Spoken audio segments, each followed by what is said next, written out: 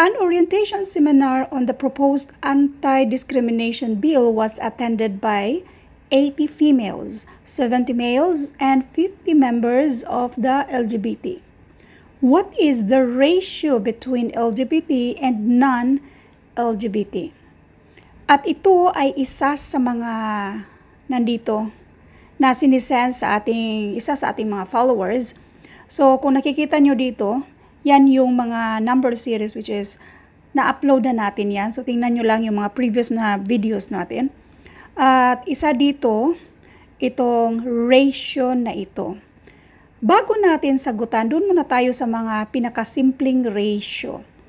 Ratio. Halimbawa, meron tayong 30 is to 10. Ito ay kailangan nating simplify by finding the greatest common factor. Now, para sa pinakadetalye kung paano hanapin yung greatest common factor, mas magandang i-search nyo greatest common factor at idugtong yung Lunalin para mas madaling ma-sort out yung dati na nating na-upload regarding sa paghahanap ng greatest common factor. Kasi maraming paraan kung paano hanapin yung greatest common factor at kayo nang mamili kung saan kayo hiyang.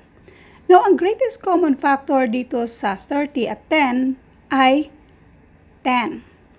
So therefore, 30 divided by 10, that is 3. 10 divided by 10, and this is 1. So ito na yung pinaka-simplified, ito na yung ratio. Isa pang example. We have 25 is to 15. Now, ang greatest common factor dyan ay 5. 25 divided by 5 and that is 5. 15 divided by 5 and this is 3. So ito na yung ratio 5 is to 3. Isa pang example. We have 24 is to 18 is to 12. Ang greatest common factor dito ay 6. 24 divided by 6 and this is 4. 18 divided by 6 and this is 3. 12 divided by 6 and this is 2. So therefore, ang ratio dito sa 24 is to 18 and is to 12 ay itong 4 is to 3 is to 2. Now, sagutan na natin itong question na nandito. Sa actual na exam, oras yung kalaban nyo. So therefore, pwede namang hindi nyo nabasahin yan. Dito na lang, yung nag-attend, meron tayong 80 na females at 70 na males. Female, 80. Males, 70. At meron tayong LGBT. LGBT na 50.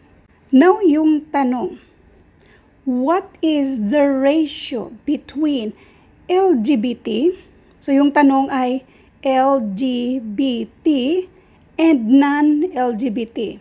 So nasa rightmost yung non-LGBT.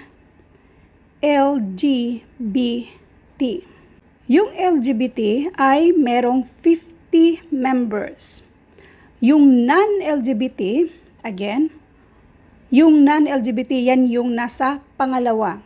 Yung non-LGBT ay itong dalawa. So, 80 plus 70, this will give us 150. So, therefore, we have 150. Now, itong ratio natin na 50 is to 150, hanapan lang ng greatest common factor.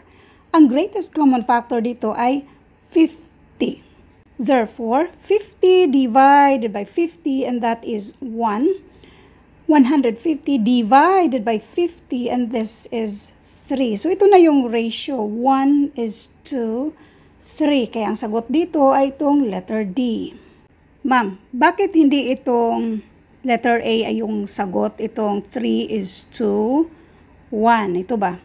Bakit hindi yan yung sagot?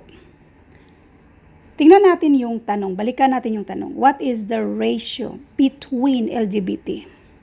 Unahin natin isulat itong LGBT. Between LGBT and non-LGBT.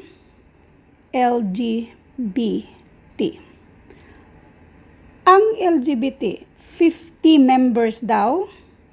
Tapos yung non-LGBT ay itong 80 females and 70 males. 80 plus 70, that is 150. Ang gagawin natin, hanapan natin ang greatest common factor. Yan at ang greatest common factor ay 50. 50 divided by 50 and this is 1. 150 divided by 50 and this is 3. Kaya ito na yung ratio. 1 is to 3. By the way, hindi porket ang nandito ay PNP entrance exam ito, wala nang kahalintulad nito sa mismong ibang exam gaya ng civil service exam, yung college entrance test. Tandaan, ito ay regarding sa ratio.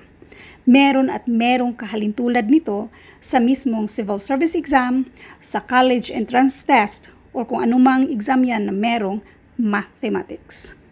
Thank you and God bless.